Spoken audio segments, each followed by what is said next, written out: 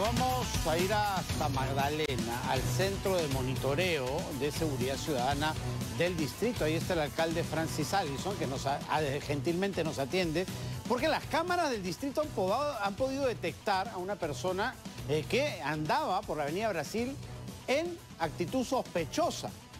Las cámaras han permitido identificar a esta persona y finalmente ha sido capturado. Resulta que tenía una requisitoria. El alcalde Allison, al cual le damos la bienvenida, nos va a dar detalles sobre esta intervención. ¿Qué tal, señor Allison? ¿Cómo estamos? Buenas tardes. Hola, Juan Carlos. Muy buenas tardes. Gracias por la entrevista. Te cuento, en Magdalena hay capturas todas las semanas. Y eso se debe básicamente a que tenemos protocolos de intervención y un serenazgo altamente capacitado. Importante saber que en ese distrito todo carro, todo carro que entra con tres hombres o moto con dos, es considerado automáticamente sospechoso, automáticamente. Y eso es lo que pasó en esta ocasión. Entra una moto por la avenida Brasil con dos hombres, un conductor y un pasajero de la parte trasera. El sereno que lo divisa se acerca a la moto de estos individuos y ellos tienen una actitud sospechosa de nerviosismo. Esto hace que en ese mismo momento el sereno mande la alarma, la alerta y que se active el plan cerco y comienza la persecución. Como pueden ver en los videos, aquí hay cuatro motos de serenazgo persiguiendo a esa moto y cerrando el paso. Hay una adelante, una atrás, una acostado y una más que viene atrás. Cuatro motos lo persiguen y lo interceptan. Y a los segundos llega el carro de serenazgo con policía integrado. Todos los carros de, serenazgo de Magdalena además tienen un policía que es en base al convenio con el Ministerio del Interior. Evidentemente, ese patrullaje integrado le da mucha fortaleza al serenazgo. Lo importante de contarles es que el copiloto, perdón, el pasajero de Polo Blanco, de nombre Luis Alvarado, estaba requisitoreado, requisitoreado por robo grabado. Vemos en su documentación que ha estado ha sido denunciado dos veces por robo agravado, es un agente peligroso, y una vez por tenencia ilegal de armas, y otra por comprar, por, perdón, por vender cosas robadas. Es decir, una vez más vemos lo de siempre. Cada vez que capturamos, o casi siempre, nos vamos con la negativa sorpresa de que capturamos a quien ya fue capturado antes y que ha sido liberado de manera totalmente regular, o de gente requisitoriada. Todas las semanas en Magdalena estamos capturando gente requisitoriada, buscada por la policía, por mandato judicial, pero que camina como Pedro en su casa. Es importante el patrullaje integrado, quiero aclarar, porque ese, ciudadano dos veces ha estado con problemas de él asaltando con arma y también con denuncia por tenencia ilegal de armas, significa que es un agente peligroso. Es decir, si no tuviéramos policías armados en todas las unidades, quizás la actitud de estos individuos sería otra, ¿no es cierto? La de atacar a nuestro serenazgo. Como podemos ver en las imágenes iniciales, al iniciarse la persecución a la Avenida Brasil, Acá está la moto que estamos siguiendo y acá viene el sereno. Aún está solo, por eso mantiene una distancia mientras llegan las demás unidades. Y en la siguiente imagen vamos a ver acá, ya hay cuatro motos detrás, de serenazgo detrás de, estos, de este individuo que entró acá con requisitoria. ¿No es cierto? Es como trabajamos. Hay un plan cerco, hay, protocolos de intervención y, tenemos un, un, grupo de serenos realmente comprometidos, con mística y con apoyo de la municipalidad. Porque acá lo que nunca va a pasar es que abandonemos a un sereno si mm. alguien lo denuncia por abuso de autoridad, en fin, si ha actuado de manera correcta, como es obvio. Pero es algo de lo malo que ha pasado Juan Carlos con la Policía. Nacional de Perú. Mm. Hemos golpeado tanto a nuestra policía que nuestra policía a veces tiene miedo de intervenir.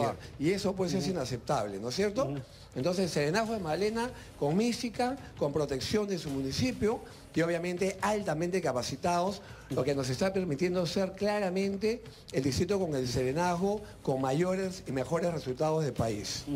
y, vemos también lo importante, alcalde, que termina siendo el apoyo de la tecnología, ¿no? Que permite monitorear y seguir a estos autos, a estas motocicletas que se consideran eh, sospechosas y que ingresan al distrito.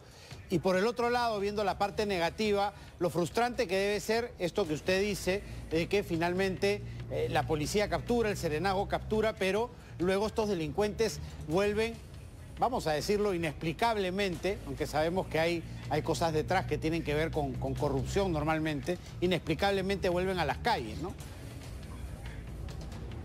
Efectivamente, Juan Carlos, respecto a lo primero, Respecto a lo primero, solamente este año hemos instalado más de 200 cámaras en Magdalena del Mar. Hemos comprado 20 camionetas, 22 motos y la lista es muy larga.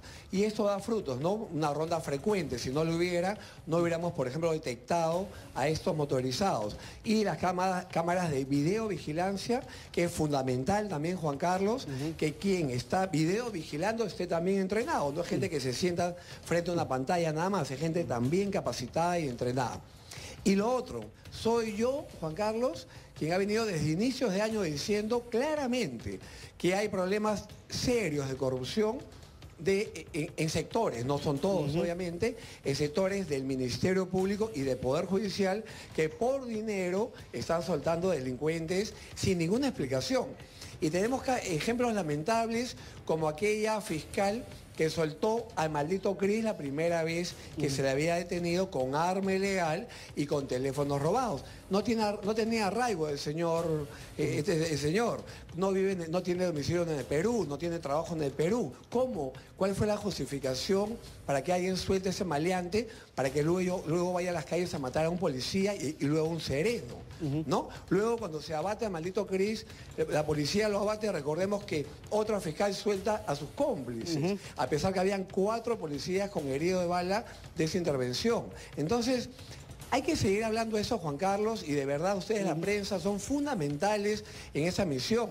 Hay temas que debemos poner sobre la mesa, porque esos malos elementos están soltando maleantes peligrosos a gente que mata y lo están haciendo por dinero. Esto es inaceptable. O sea, gente que prefiere la plata que, para ellos la plata está sobre la vida de hombres y mujeres de Perú. Es inaceptable. Y, hemos visto que a raíz de esa presión que venimos haciendo algunos en este tema, ya el presidente de la Corte Suprema ha salido también a hablar del tema y también la presidenta de la Corte Superior de Justicia de Lima.